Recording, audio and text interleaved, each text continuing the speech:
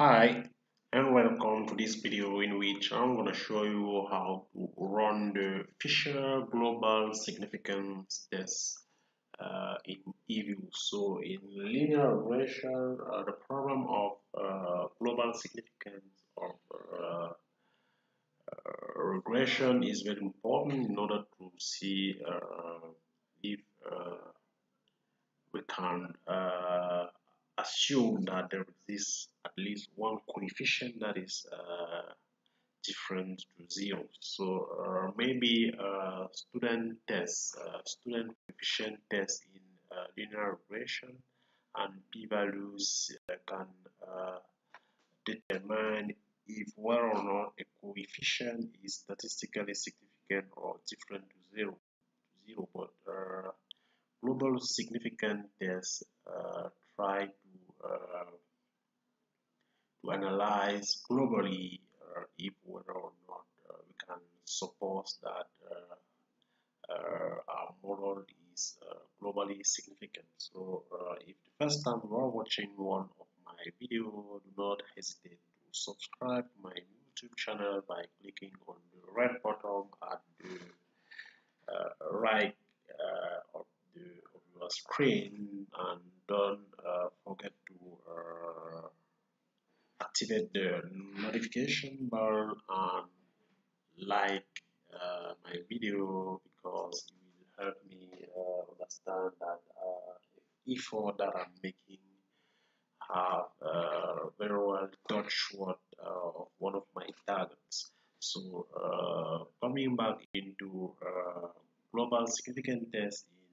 in uh, to run the global significant test in eViews, you need to go in tab and go to view.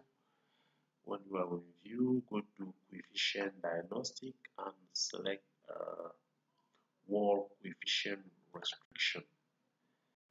So in Wald coefficient restriction, we have our coefficient. If you know the first coefficient estimated as C1, the second as C2, C3, C4, C5, and C6. So we are going to test if whether or not uh, the uh, coefficient of different variables are uh, jointly equal to zero or uh, at least one of coefficient is different to zero. So our null hypothesis is that C2 equal uh, C3 equal uh, C4 equal C uh, to uh, C5 equal to C6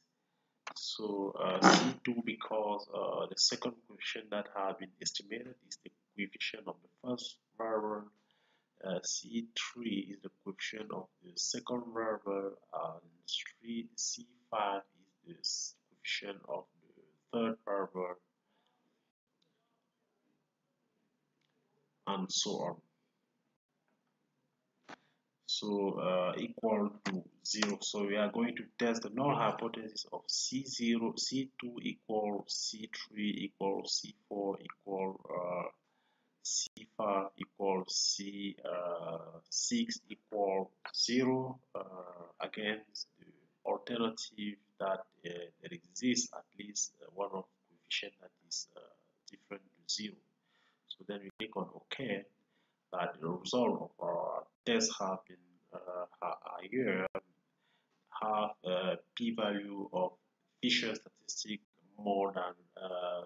less than 0.5 percent, almost zero, meaning that we reject the null hypothesis that uh, all our coefficients are equal to zero, meaning that we can suppose that there exists at least one coefficient that different to zero. So that's it for this uh, Fisher uh, global significant test in eViews and if you have just uh, not yet subscribed to my YouTube channel do it uh, and don't forget to uh,